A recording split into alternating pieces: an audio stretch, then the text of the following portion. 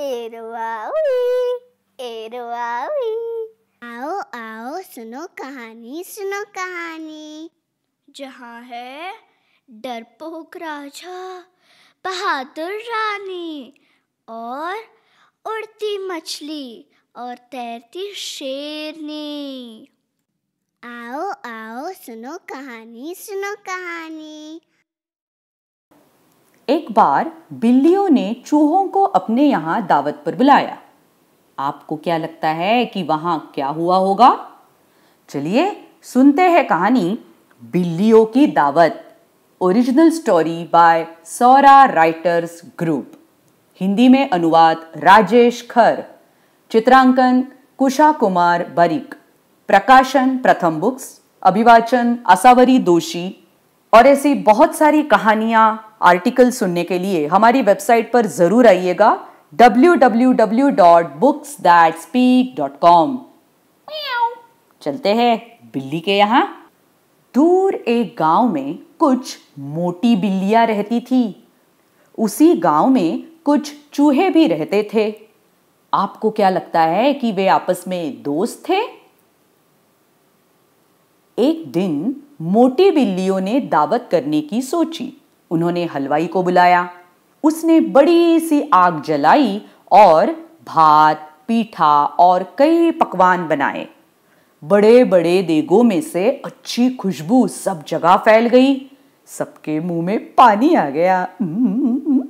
अब मोटी बिल्लियों ने चूहों को भी दावत में बुलाया। चूहे तो खुशबुएँ सूंघ ही रहे थे, इसलिए वे बड़े खुश हुए। उन्होंने अपने मुखिया से दावत में जाने की अनुमति मांगी। उनके होशियार मुखिया ने कहा, तुम जा सकते हो, पर याद रखना कि बिल्लिया हमारी दुश्मन है। उनके आसपास सावधान रहना, किसी को चोट नहीं आनी चाहिए। पहले वहाँ अपने नीचे एक बिल खोद लेना। अगर कुछ गड़बड़ हो तो उस राह से भाग निकलना। चूहे दावत में गए। उन्होंने इधर उधर देखा और थोड़ा पीठा खाया। चुपचाप से अपने नीचे बिल भी बनाते रहे। संगीत बज रहा था और बिल्ली और चूहे मिलकर नाच रहे थे। ढम ढम ढम ढम बजा ढोल और पीपी पीपी बजी तूरी। नाचो, गाओ, पकड़ो, खाओ, मोटी बिल्लियों ने गाया। चूहों को इसका मतलब पता था। नाचो, गाओ, भाग जाओ, उनका जवाब था। गाते गाते वो अपने बिलों के रास्ते से भाग निकले। मोटी बिल्लियों को हार माननी पड़ी।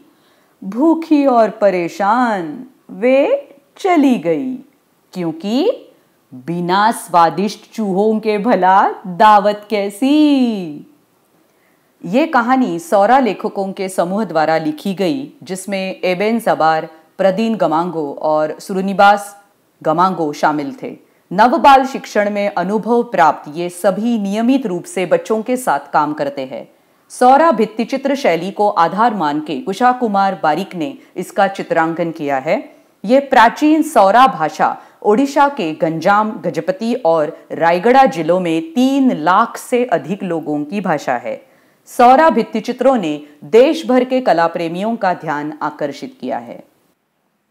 आ, कहानी खत्म मुझे और एक सुननी है उसके बाद और एक। अच्छा अच्छा आपको भी सुननी है ना और कहानियाँ? तो चलो मेरे साथ www.booksthatspeak.com पर। एरवावी एरवावी।